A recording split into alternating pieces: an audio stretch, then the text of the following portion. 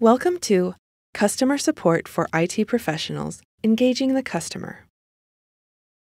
In this learning activity, you'll explore ways to engage and retain your customers by improving your customer service skills. Why care about customer retention? Every IT professional needs to actively employ skills to engage their customers. A greater number of engaged customers translates into an improved retention rate.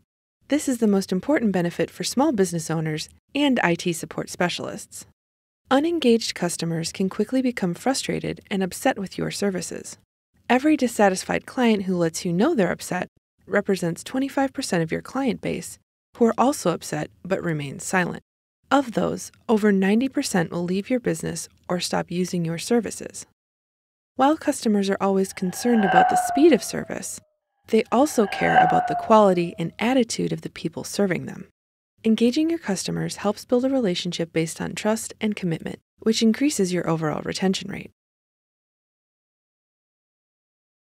Here are four ways you can better engage your customers. Start by providing personalized interactions to build trust. Make a point to use the customer's name and to provide your own name. Sharing your name shows you care because it lets your customer know they can reach out to you if they need additional help.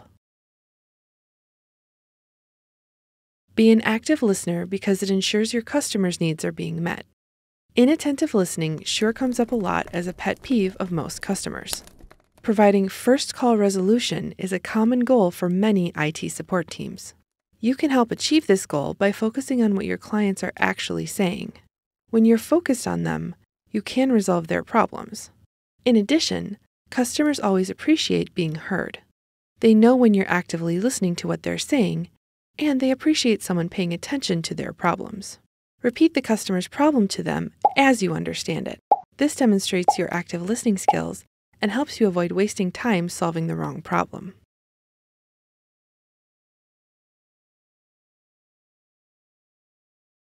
Communication is another key to engaging your customers. Keeping your clients up to date on their concerns not only reduces their anxiety, but it frees you up to focus on your work. When customers feel nothing is happening, they frequently reach out for assurances that you're taking their concerns seriously. Dealing with these requests can be disruptive to your workflow. You can reduce their quantity by being proactive and keeping your customers up to date on their issues and the solutions. This includes sending an email letting someone know you're still working on their concern, but you haven't resolved it yet. Customers don't mind waiting for a solution as long as they are kept in the loop. For any client, nothing is worse than being kept in the dark. Asking for and acknowledging feedback is another great way to engage your customers. Rarely do we ask for feedback. I mean, truly ask for or want their opinions.